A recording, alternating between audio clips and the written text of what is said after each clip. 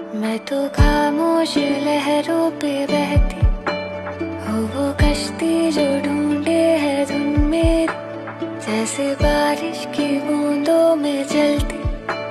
मैं हवा हूँ जो बूंदों से पूछेगी है कहा?